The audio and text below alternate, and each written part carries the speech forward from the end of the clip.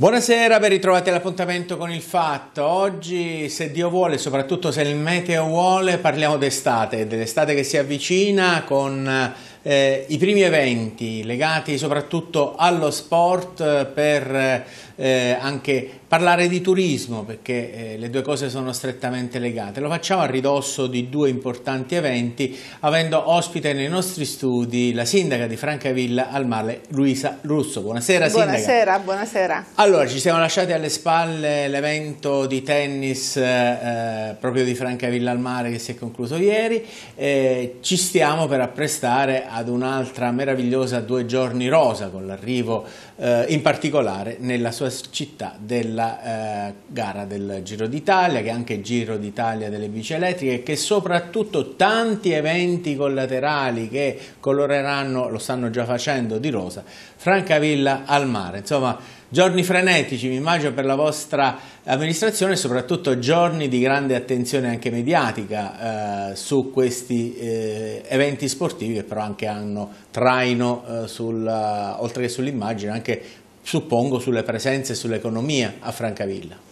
Sì, certamente Francavilla sta vivendo un momento magico, questo mese di maggio è stato e, e, continua ad essere un mese straordinario grazie soprattutto agli eventi sportivi, eventi che fanno parlare di Francavilla al di fuori dei confini regionali e addirittura nazionali. Eh, si è conclusa ieri la settimana del, eh, dell'ATP Challenger Tour che è un torneo internazionale di tennis dove il grande tennis è stato a Francavilla ed è stata una settimana eh, straordinaria. E adesso ci eh, approntiamo, apprestiamo ad accogliere la tappa di arrivo del, del Giro d'Italia che ci sarà giovedì e mercoledì 15 maggio, chiedo scusa, mercoledì 15 maggio e c'è un grande lavoro dietro, è stato un mese di eventi, l'ultimo c'è stato sabato con la Notte Rosa, è stata veramente una serata, una nottata straordinaria. Tutto questo chiaramente fa sì che si parla di Francavilla adesso in un momento che ci fa uh, alle porte dell'estate per cui il trend uh, di eh, presenze eh, turistiche a Francavilla che era già in crescita in base ai dati regionali sarà sicuramente ancora in ulteriore crescita, è un periodo davvero straordinario. Come avete coinvolto la città, i commercianti, ma gli stessi cittadini in questo vortice rosa? È stato un grandissimo lavoro che abbiamo fatto già da diversi mesi facendo incontri con commercianti, associazioni culturali, balneatori, tutti gli operatori economici e questo ci ha dato un grandissimo risultato. Chi è stato a Francavilla sabato sera ha potuto respirare proprio un clima di partecipazione di tutta la città che si respira ancora adesso, veramente c'è un coinvolgimento di tutti e voglio approfittare per, per ringraziare tutti perché hanno creduto in questo progetto, hanno capito che anche lo spazio sport, eh, sia il tennis che il ciclismo, ma tutti gli altri sport che abbiamo a Francavilla, fanno sì che eh, si parli di Francavilla ovunque e hanno tutti, stanno tutti partecipando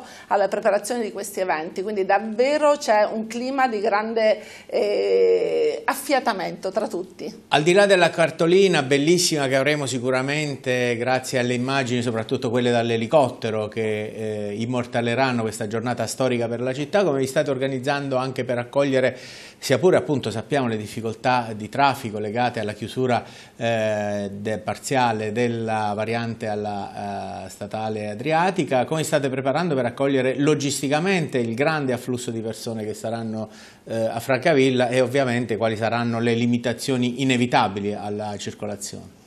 La chiusura della galleria eh, è un grande problema per Francavilla, ma non solo per Francavilla, per tutta la zona circostante. Mi sono battuta e sto continuando a battermi affinché l'ANAS rispetti i termini che ci ha indicato, cioè di riconsegna della strada entro il, la fine del mese di giugno, altrimenti sarà un grandissimo problema per tutto il territorio.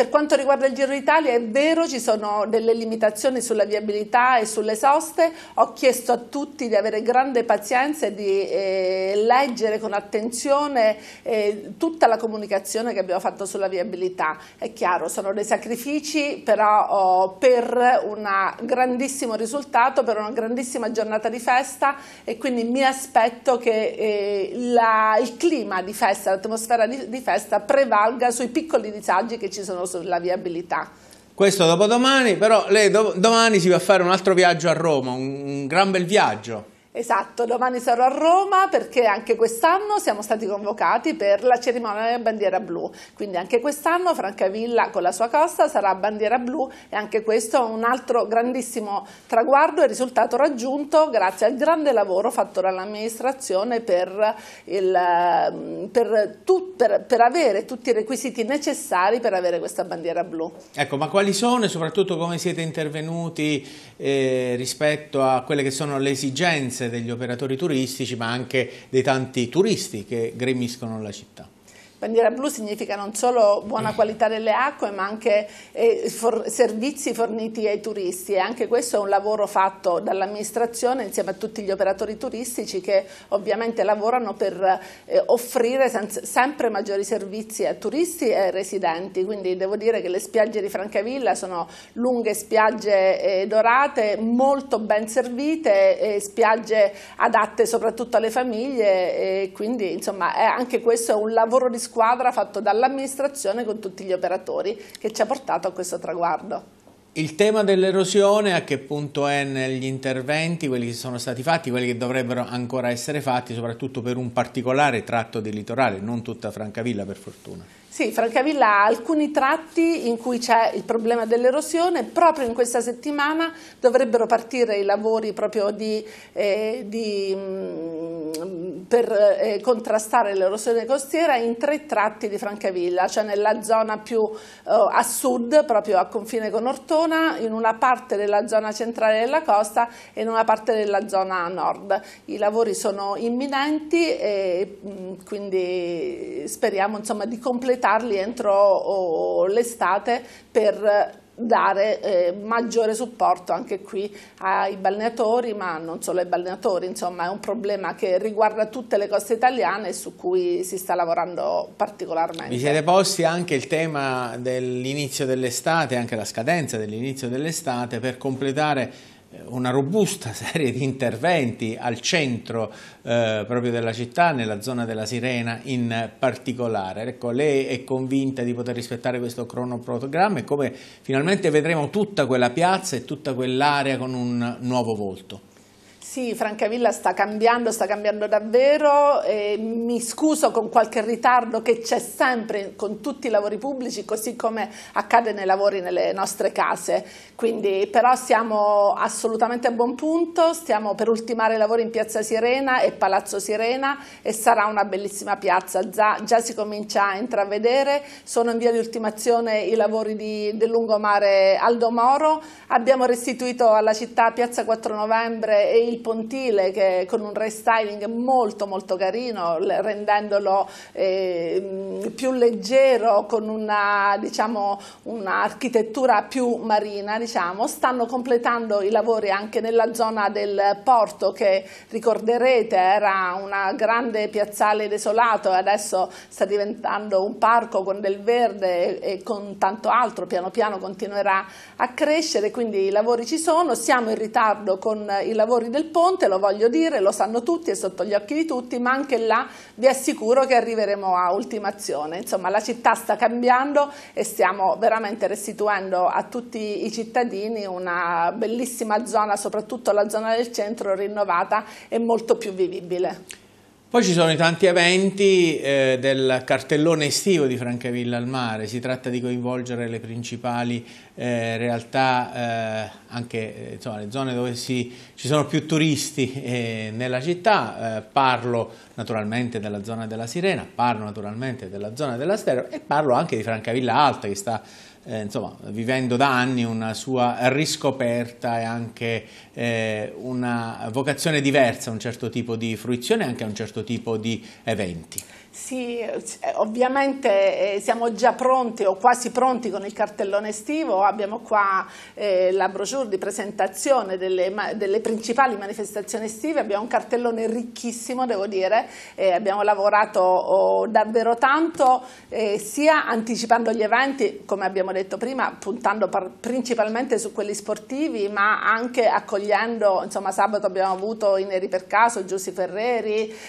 Giovanni Cacioppo, quindi già già siamo partiti con grandi nomi. Ripro ricominceremo immediatamente eh, nel mese di giugno già con Adriatic Film Festival, poi con Squilibri ospitando anche eh, la finale del premio Strega, con Paolo Fresu in concerto, tutto questo nel mese di giugno. Poi eh, nel mese di luglio si entrerà nel vivo delle manifestazioni estive, ancora di più con Filosofia a Mare, Shockwave Festival che è una grande arena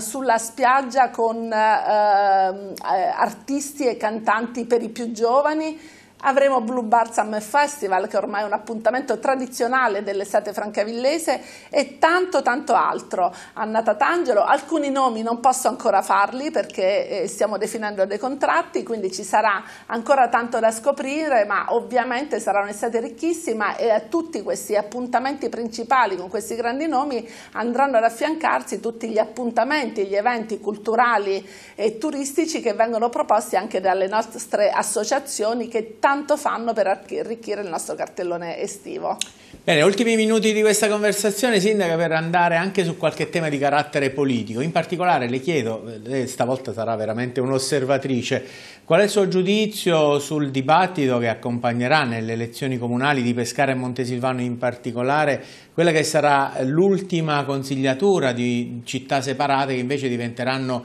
eh, tra eh, due anni e mezzo un'unica realtà metropolitana che sarà proprio eh, collegata perché lo è per la storia, per eh, anche l'espansione urbanistica con la sua Francavilla. Lei è fiduciosa o preoccupata dal suo punto di vista eh, insomma, di, questo, di questo nuovo soggetto che nasce? Io credo che sia un grande progetto e sicuramente sarà insomma, un progetto pilota che osservo con grande attenzione, non sono preoccupata, sicuramente dovremo oh, trovare un modo per collaborare insieme, cosa che già accade adesso, ma sicuramente dovremo rivedere magari alcuni aspetti. Nessuna preoccupazione, io penso che quando si creano ponti e, e non e mura tra le città eh, si hanno solo ottimi risultati, si può andare solo meglio, quindi sicuramente l'obiettivo è quello di eh, far sì che l'Abruzzo tutto unito continui a crescere, eh, senza distinzioni di province, senza distinzioni di città, quindi qualsiasi progetto che porta a un maggiore eh, confronto, un maggiore colloquio può solo far bene alle città e a tutti i cittadini. Del resto anche mi pare proprio sul fronte della mobilità con tu erano state in passato uh, svolte delle prove tecniche diciamo, di area metropolitana unica che erano state penso anche molto apprezzate dai cittadini sia di Pescara che di Francavilla. Pensate di eh, proseguire su questo indirizzo? Io penso proprio di sì, sul trasporto pubblico locale bisogna fare ancora moltissimo, siamo molto indietro, devo dire su questo eh, mi aspetto qualcosa in più perché eh, il trasporto pubblico locale può essere veramente la svolta per contenere il traffico e per proprio far capire a tutti i cittadini che ci può essere una modalità diversa di spostamento, però è chiaro che deve intervenire la politica, devono intervenire le istituzioni per offrire servizi alternativi a tutti coloro che tutti i giorni sono portati eh, per abitudine a prendere la macchina, quattro auto se ci sono quattro persone in casa, quindi dobbiamo essere noi, la parte politica e le istituzioni a offrire servizi diversi e di, da questo mi aspetto insomma, qualche segnale in più da parte della Regione. E soprattutto mi immagino che lei sarà una sindaca militante nel eh, protestare assieme ai suoi cittadini se l'ANAS dovesse fare qualche brutto scherzo all'inizio di quest'estate, quindi vigilare di continuo soprattutto su questo tema che che eh, è fondamentale non solo eh, per eh, il turismo e per eh, la fruizione della città, ma anche per la nostra salute, perché ricordiamo che eh, se non si risolve questo problema eh, le ripercussioni sono inevitabili, sia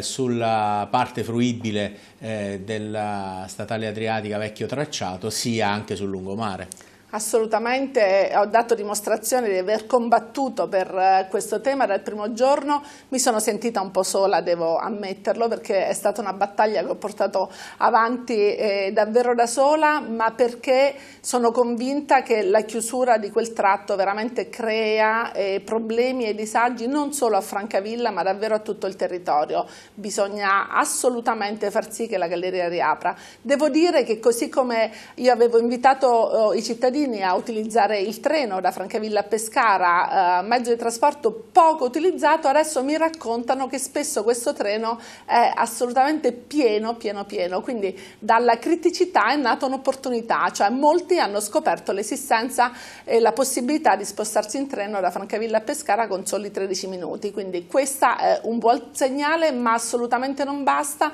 continuerò a combattere e a vigilare sul rispetto dei tempi per la riapertura della galleria. Grazie, ancora congratulazioni per la bandiera blu e buona estate a Luisa Russo e naturalmente alla città di Francavilla. Grazie, buona, buona estate a tutti.